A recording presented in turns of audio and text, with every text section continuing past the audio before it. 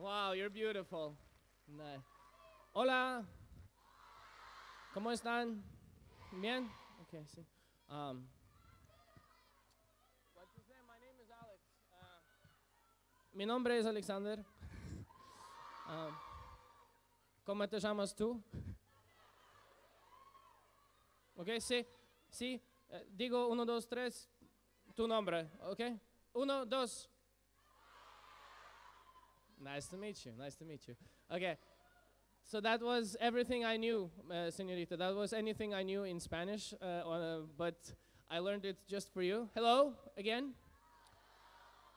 Um, actually, I learned one song, one song in Spanish, which I did on uh, YouTube some days ago, and I have, I have a, t- I have a text of the song here, just because I'm uh, very nervous because I really respect Julio Iglesias who, who sung the song, and um,